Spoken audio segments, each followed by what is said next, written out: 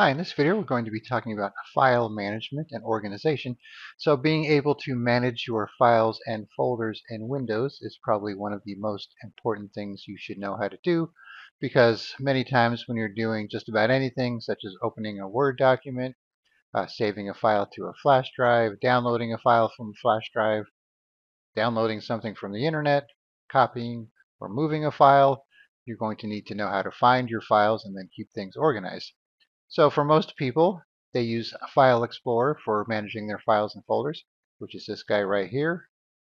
You may or may not have it in your taskbar. If not, you could click on Start. You might have it here. You could also do a search for it, like so. You could also right-click the Start button and click on File Explorer. So either way, we'll open it up. And when you do open it up, it's probably going to go to either home or gallery, depending on how you have it configured. So when you go to home here, you have your quick access, which is the same as you see here. And then favorites if you have any created. And then recent files if you've worked on anything recently. And you could collapse these if you don't want to see them. You could also disable those if you like.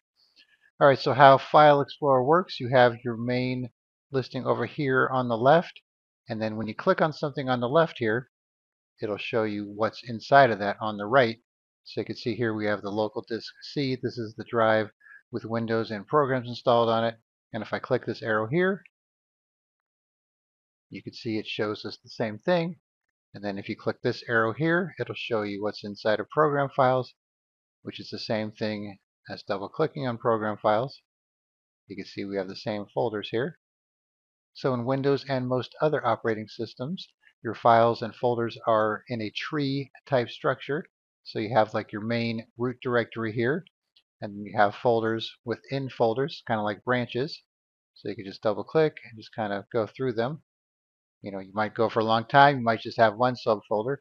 And then you'll see here, as we start to go through the folders here, it'll start to populate up here. So this is the path that we're in.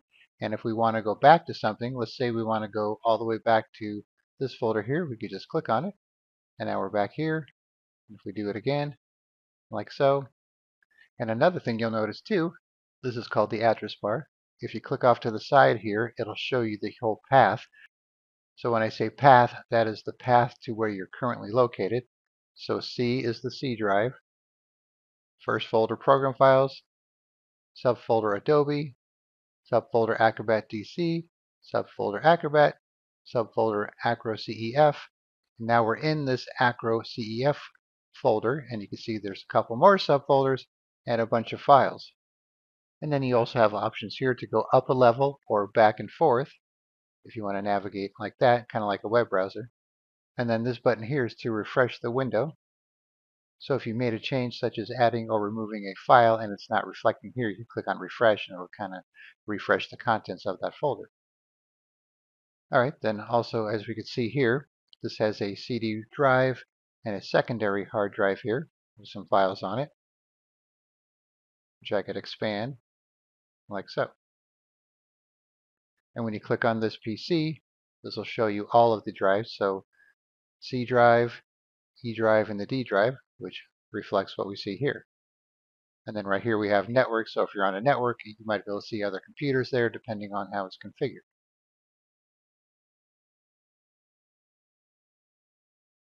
And then you'll see up top here we have some other tools and they're grayed out. That's because we haven't selected a file. So let's go here for example.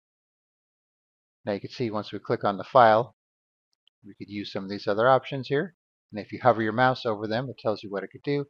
Cut, copy, paste, rename, share, delete, sort, and view options. All right, so when you sort, right now it's sorted by name, you could change some of these other options here. You could group by certain categories here if you want. But you'll most likely be using this option here for view. So right now it's set to details, and we have it on details. This shows you things such as the name, date modified, and type. And then you could sort on those columns. So right now it's sorted on name. If I click on date modified, you can see we have 116.25 is our newest file. And if I click on it again, then it'll put the oldest file at the top. And if you want to sort by type, so if you want to see all your PDF files in a grouping like that, CSV files, Word documents, and so on, you could do that. You could sort by size. You could even right click on a blank spot here, add some of these other columns, or click on more, and even add some additional columns. And then you can move them up and down if you want to change how they're arranged over here. And you could also do the same thing here. If I want size in front of type, I could do that. If I don't want type, I could right click on it, get rid of it, and that type of thing. And then right here we have details. So if I click on that, it'll kind of give you some details. Depending on the file type, this works better for pictures, for example. You can see it kind of gives you a preview, some details there. But for files and folders, you won't necessarily get a preview, but you might get some information such as the type, the size, where it's located, and date, and so on. And then also another option is to right click on files and folders.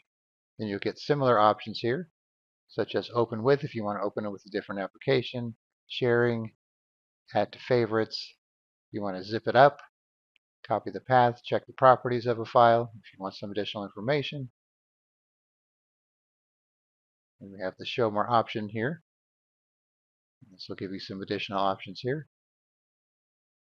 You know, similar options such as cut, copy, paste, delete, rename, and so on. And then these three dots here give you some extra options here. You know, undo and redo, uh, make a zip file, add to favorite, some of the similar options that we saw before. Alright, so the main takeaway from this video is just that you need to know where your files and folders are and then you could act on them accordingly because if you can't find something then it's going to be kind of hard to work on. And we do have the search box here and when you're using this it's going to search based on your current location. So we're in Documents. So right now it's only going to search the Documents folder. And if I click on Pictures, it's only going to search the Pictures folder. So if you want to search the whole computer, you could click on just OneDrive, for example, or this PC. And this PC, if you click on that to search, it will search all of the drives that are on your computer. So obviously that's going to take a little longer.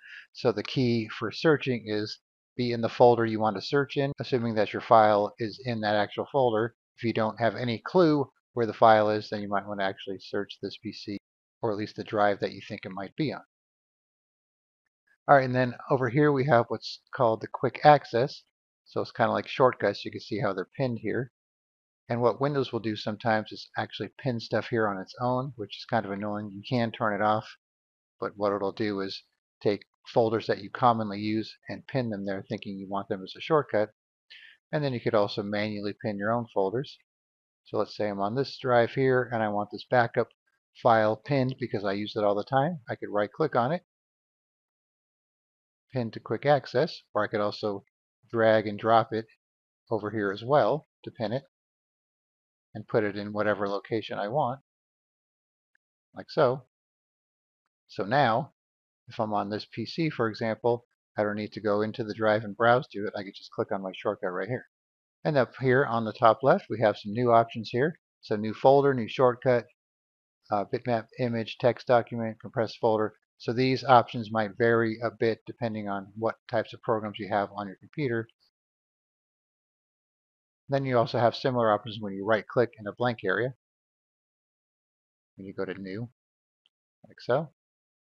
Same for your desktop. And let's say you make a new folder. It's going to call it new folder by default. And you can see when that text is blue, that means you could type over it.